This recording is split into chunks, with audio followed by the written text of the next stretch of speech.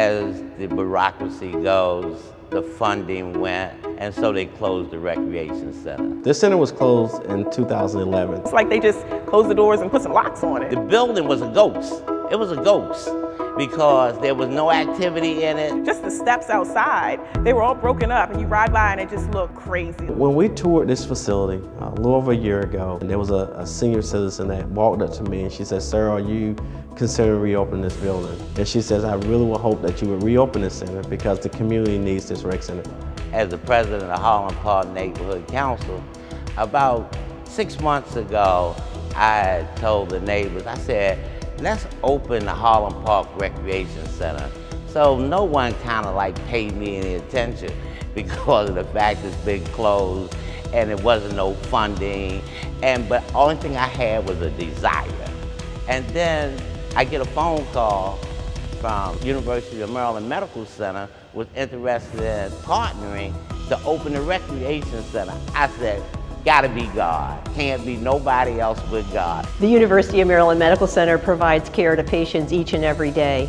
And it's just as important that we think about the health of our communities. So we're very excited to be here at the Harlem Park Rec Center to provide access to services here in this center that the neighborhood can benefit from. I just heard that it's opening back up and I'm so excited that my kids will have a place to go, a place to learn how to play ping pong, pool, all the things that I learned to do as a child. From that point on, uh, Doc brought all his people in.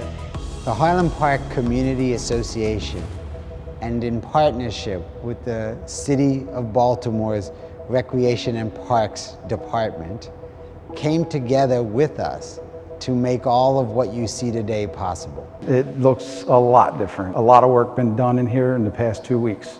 The transformation, like it's amazing the work that they did in just a few weeks. Taken all the trash, we patched all holes in walls. New flooring, new flooring in the hallways, they put the plumbing together, they put the air conditioning together, they put in cabinets in the kitchen, they took down a wall. They did so much.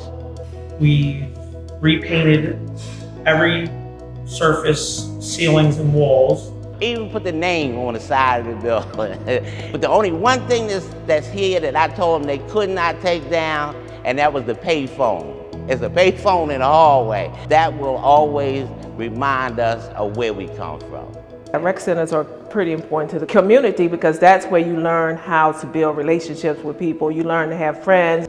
So whether it is kids playing basketball, kids playing ping pong, uh, educational events, whether it is seniors getting access to yoga, or whether it is nutrition services and education provided to the community, this recreation center will help revitalize a needed resource in the community. To be able to walk in and see kids engaged and be able to realize that it was the partnership with the University of Maryland Medical Center that made this become a reality and to seeing kids that having some safe haven, some positive environment that they can be a part of. So that to me is, is the biggest part I'm looking forward to. And now to ride by, you feel a sense of pride, like, oh, that looks really nice. And I think the kids are feeling it as well, because they are super excited. They keep coming in like, when is the rec center open? When is the rec center open? I'm like, just give it a minute. this Harlem Park neighborhood needs something, and so the graciousness of the university and the willingness of the Harlem Park Neighborhood Council has brought this whole program together. And now we're, it's happening. We're ready to go. So it's been a journey, but it's been a great journey.